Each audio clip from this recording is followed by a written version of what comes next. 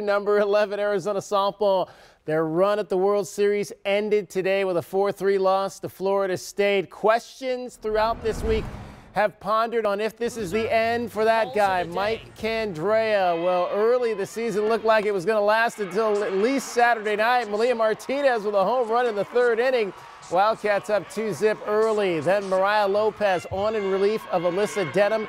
Escaped a jam in the fourth, but in the sixth, Danny Morgan tags her with a two-out, three-run jack to give Florida State a 3-2 lead. Didn't you go to Florida State, Daniel, one of them schools? U of A still not ready to go home. Reyna Carranco, a seeing-eyed grounder into the alley. That's enough to score a speedy Janelle Meono from first. We are tied at three in the seventh but Carranco would hand that run back in the bottom of the seventh on this critical error right here.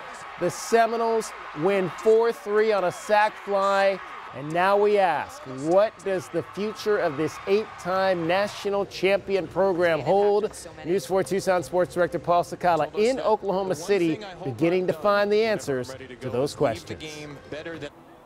It's been a very difficult night for Coach Mike Candrea and the entire Wildcat squad, especially the seniors, and that includes Malia Martinez. But hey, let's concentrate on the positives. And speaking of Malia Martinez, she was able to play along with a few others on the team in two different Women's College World Series right here in Oklahoma City. Also, she had the thrill of hitting a home run on the biggest stage. We asked her about that in the post-game press conference, and Malia Martinez was happy, but you could see how emotional she got even when talking about this positive moment. Malia Martinez. I was just thinking, you know, first good pitch I see, I'm just going to go for it. So, yeah. And that she did. The home run put Arizona up 1-0 at the time, but in the end, it wasn't enough. And the speculation around the college softball world still deals with the question, will Mike Candrea retire? He was asked point blank.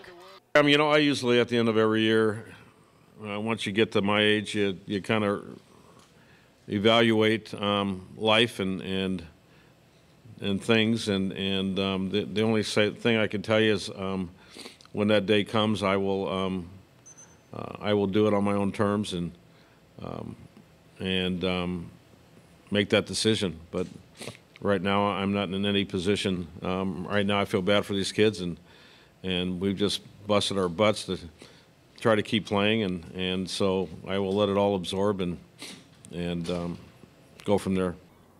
The waiting game and speculation continues, but let's go ahead and reiterate that as of right now, Coach Mike Candrea still is the head coach for the U of A softball team. Also, for now, let's get back to the theme of concentrating on the positive. And that positive is, yet again, the Arizona Wildcats made it right here to Oklahoma City for the Women's College World Series. Bear down. If you'd like to see any of the many stories that we've been able to do here in Oklahoma City over the last few days, shadowing the Arizona Wildcats, no worries. We have them all on KVOA.com. We've got you covered from the OKC I'm Paul Cicala, News 4, Tucson.